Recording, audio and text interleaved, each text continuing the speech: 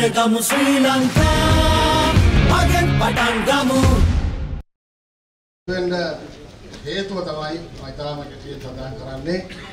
මේ 69 ලක්ෂයක් ඡන්ද එක්සත් ජාතික පක්ෂයේ ඇරෙන්න ශ්‍රී ලංකා නිදහස් පක්ෂය සහ අපි ඔක්කොම එකතු වෙලා තමයි ඒ කටයුත්ත කරේ.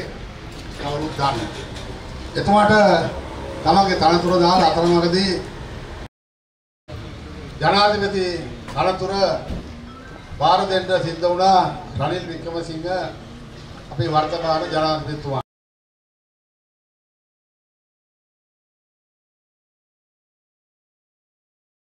දැන් මේ මැතිවරණයේදී ප්‍රධාන පක්ෂ තුනක් එකට එකතු වෙලා නායකයෝ එකට එකතු වෙලා තියෙනවා.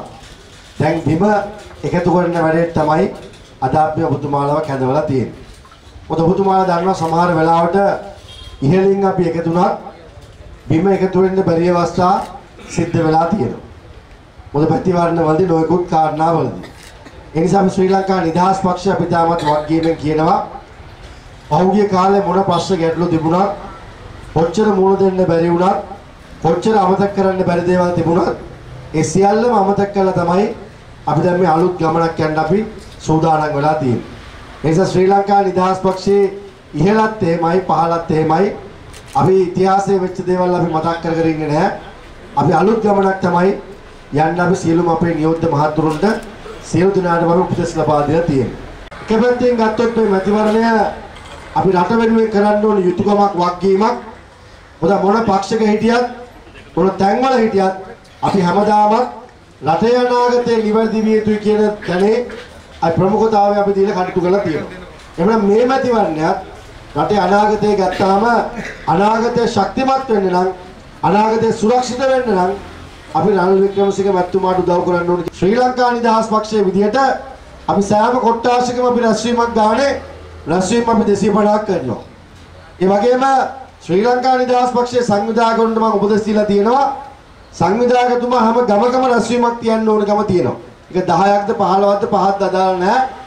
ගම නියෝජනය වෙන විදිහට ගමයා දැනුවත් කිරීම කරන්න ඕන ගම තියෙනවා. ඉතින් මම විශ්වාස කරනවා අපිට තියෙන කාල ප්‍රමාණය අඩු නිසා අපිට පුළුවන් නම් සියලුම පක්ෂ මේ වැඩේ කරත් කොතරම් රැස්වීම වැඩි කරගත්තත් අපිට පාඩුවක් නෙමෙයි වාසියක් විතරයි තියෙන්නේ. මොකද අපිට කාලය අඩු නිසා අපි හැමෝම යම් උත්සාහයක් දැරලා යම් කැපකිරීමක් කරලා මේ වැඩෙත් එක්ක දායක වෙන්න ඕනකම තියෙනවා. පක්ෂක පුතුමාලා හිටියත් මේ පක්ෂ තුනේ කට්ටිය එකට එකතු වෙලා ඊට පස්සේ අද වෙනකොටම මොන තත්ත්වයේ තිබුණත් ගමේ එහෙම තත්ත්වයක් තියෙන්න පුළුවන් කමක් නැහැ.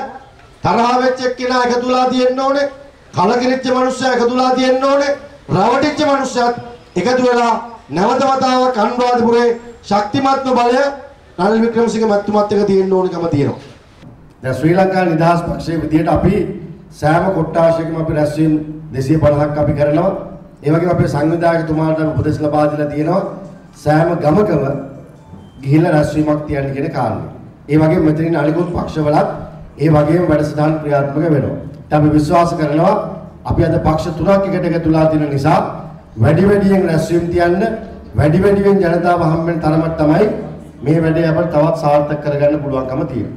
හැබැයි ඒ වගේම අපි ශ්‍රී ලංකා නිදහස් පක්ෂ සියලු දෙනාටම අපි උපදෙස් දීලා තියෙනවා කවුරු අනිල් වික්‍රමසිංහ මැතිතුමා වෙනුවෙන් රැස්වීමක් තිබ්බත් ඒ සියලුම රැස්වීම් වලට තමන්ගේ දායකත්වය තමන්ගේ පිරිස යොමු කරලා ඒක මම ආවද නාවද කියලා නෙමෙයි කවුරු ආවත් මෙතන ඉන්න කට්ටිය ශ්‍රී ලංකා නිදහස් පක්ෂයේ සියලුම දෙනාම ඒවට සම්බන්ධ වෙන්න කියන කාරණේ. මොකද වෙනදා අපි තනියෙන් සටන් කරේ හැබැයි අද ප්‍රධාන පක්ෂ තුනම එකට එකතු වෙලා තමයි මේ සටනේ කරන්නේ. අපි අතර ප්‍රශ්න ප්‍රශ්න ගැටලු මේ කිසි දෙයක් දැන් නැහැ.